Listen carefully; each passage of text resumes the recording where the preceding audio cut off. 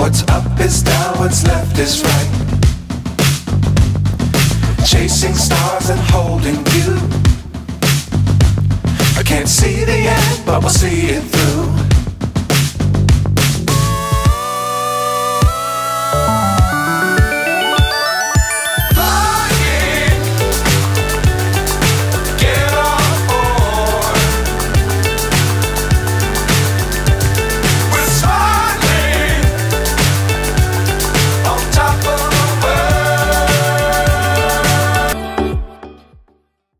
Royal Enfield के 650 interceptor और continental GT retro lovers के लिए किसी सरप्राइज़ से कम नहीं है।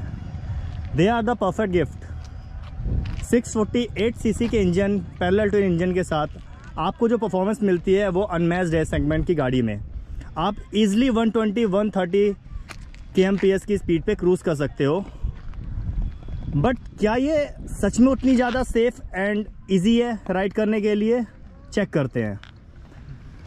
गाड़ी का जो इंजन है वो बहुत ही अच्छी तरह ट्यून किया गया है बट इस गाड़ी में जो सबसे बड़ी कमी है वो है इसकी सीट अगर आप देखोगे एंड अगर आपने गाड़ी राइड की हुई है तो आप जानते हो कि 40-50 किलोमीटर तक तो ये गाड़ी बहुत ही ईजिली आप चलाते हो। आपको बिल्कुल भी कोई भी परेशानी नहीं होती है, क्योंकि इसकी जो बैठने की पोजीशन है वो भी अपराइड है। आपको शोल्डर्स में बिल्कुल पेन नहीं होता है। But after 40-50 kilometres ride what you feel is your butt is totally going numb because इस गाड़ी की जो सीट है, वो बहुत ही ज़्यादा सॉफ्ट है। 40-50 किलोमीटर के बाद अगर आप फील करोगे तो इस सीट बहुत ही अंदर की तरफ़ धसनी स्टार्ट हो जाती है। एंड आपको जो आपका बट एरिया है, वो बिल्कुल नम होना सा फील होने लग जाता है। रॉयल इनफील्ड की इंटरसेप्टर 650 के साथ जो सीट आती है स्टॉक सीट वो बिल्कुल भी कंफर्टेबल नहीं है, बहुत ही ज़्यादा सॉफ्ट है। तो मार्केट किट में आपको बहुत से ऑप्शन मिल जाएँगे, लेकिन अगर आप रेट्रो बाइक लवर हैं तो आप जानते हैं कि वो ऑप्शंस का जो स्ट्रक्चर है वो आपके बाइक के लुक को बिल्कुल ही ख़राब कर देता है। वो सीट्स जो है आपके बाइक के लुक को बिल्कुल ख़राब कर देती हैं। तो इसका एक जो सबसे अच्छा सॉल्यूशन है, वो है रॉयल इनफील्ड की टूरिंग सीट जो कि रॉयल इनफील्ड ने लॉन्च की है। ये आपकी रॉयल इनफील्ड की टूरिंग सीट अगर आप इसको देखोगे तो बिल्कुल जो इसका स्ट्रक्चर है, इसकी स्टेचिंग है एंड बाकी जो इसका जो भी डायनेमिक्स है, वो बिल्कुल ही स्टॉक सीट की कॉपी है। आपके राइट में जो सीट है, वो है आपकी रॉयल इनफील्ड की टूरिंग सीट और लेफ़्ट वाली जो सीट है, वो है आपकी स्टॉक सीट अगर आप ध्यान से देखोगे तो इसके अंदर बहुत ही ज़्यादा अंतर नहीं है। दोनों का जो स्ट्रक्चर है, वो बिल्कुल भी सेम है। मटेरियल जो यूज़ हुआ है, वो शायद उन्होंने अलग यूज़ किया हुआ है। तो देख के आप नहीं बता पाओगे कि एग्जैक्टली exactly कौन सी आपकी टूरिंग सीट है और कौन सी स्टॉक सीट है। जो विजिबल डिफरेंसेस हैं, वो हैं आपका रॉयल इनफील्ड की टूरिंग का जो लोगो है, वो यहाँ पे आपने ब्रांडिंग दी हुई है रॉयल इनफील्ड ने टूरिंग की। एंड जो इसकी स्टिचिंग है, अगर आप स्टॉक सीट में देखोगे तो इसकी स्टिचिंग जो है वो सिंगल स्टिचिंग के साथ आया हुआ है। लेकिन अगर अगर आप टूरिंग सीट में देखोगे तो यहाँ पे देखो उन्होंने डबल लाइन की स्टिचिंग की हुई है। और रॉयल एनफील्ड ने जो क्लेम किया हुआ है, ये क्लेम किया हुआ है कि ये जो आपकी सीट्स हैं, वो वाटर प्रूफ भी हैं। किसी भी मौसम में अगर आप इसको करते हो तो इसके जो अंदर का कुशन है, वो पानी से बिल्कुल भी गीला नहीं होने वाला है। बाकी ऐसा कोई विजिबल डिफरेंसेस नहीं है। तो क्या ये सीट वाकई वर्थ है? क्योंकि रॉयल इनफील्ड की वेबसाइट पर अगर आप चेक करोगे तो इस सीट की जो कीमत है, वो उन्होंने फोर थाउज़ेंड रुपीज़ रखी है। एंड फोर थाउज़ेंड रुपीज़ में आपको आफ्टर मार्केट काफ़ी सीट्स अवेलेबल हो जाएँगी बट उसमें आपको बाइक के लुक के साथ कॉम्प्रोमाइज़ करना पड़ेगा। मैं आपके सामने लेके आया हूँ रॉयल इनफील्ड टूरिंग सीट का बिल्कुल ही जेनविन रिव्यू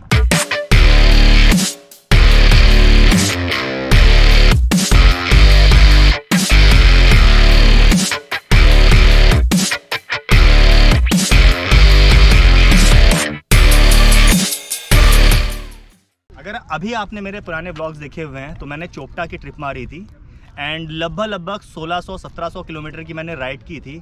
तो उस एक्सपीरियंस में आपको ये बता सकता हूँ कि दोनों सीट के देखने में अगर कोई डिफरेंस नहीं है बट अगर आप इनको चलाओगे तो इनके कंफर्ट में, इनके फील में बहुत ज़्यादा डिफरेंस है। क्योंकि लास्ट टाइम जब मैं अपनी बाइक दिल्ली से लखनऊ लाया था तो आफ्टर 80 किलोमीटर 90 किलोमीटर के बाद मुझे अपने जो बट था, वो बिल्कुल भी फील नहीं हो रहा था। मुझे बार बार 40-50 किलोमीटर के बाद स्टे लेना पड़ रहा था, क्योंकि बहुत ही ज़्यादा अनकम्फर्टेबल सिचुएशन हो गई थी मेरी।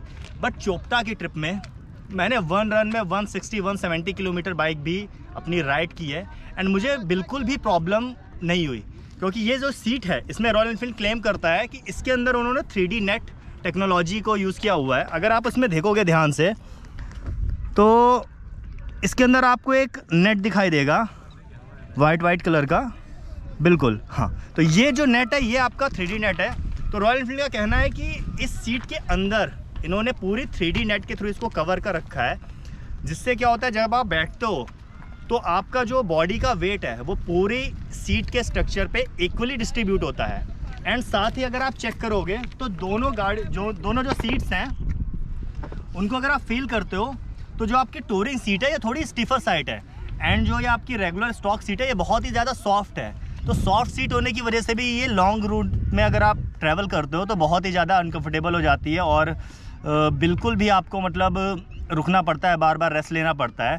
बट ये आपकी काफ़ी स्टिफर साइड है। एंड अगर इस पर प्रेशर भी आप देते हो तो देखते हो कि हाँ ये सीट जो है, वो आपको फील होती है कि कंफर्टेबल है। तो अगर आप भी रॉयल इनफील्ड ओनर हो, अगर आपने इंटरसेप्टर 650 ले रखी है एंड अगर आपके पास जी टी सिक्स फिफ्टी है तो मैं आपको बिल्कुल ही अपनी तरफ़ से ये बोलना चाहूँगा कि आप रॉयल इनफील्ड की जो टूरिंग सीट है, आप उसको कंसीडर कर सकते हो। अगर आप बहुत ज़्यादा ट्रैवल पे नहीं जाते हो, साल में एक दो बार ही ट्रैवल पे जाते हो प्रॉपर आप, ऐसा नहीं है कि हर महीने आप ट्रैवल पे जा रहे हो तो ये बहुत ही अच्छा ऑप्शन है, क्योंकि इसके साथ आपको जो गाड़ी का जो आपका एक रेट्रो लुक है, उसके साथ बिल्कुल भी आपको कॉम्प्रोमाइज़ नहीं करना पड़ता है। तो मेरी तरफ़ से रॉयल इनफील्ड टूरिंग सीट को थम्स अप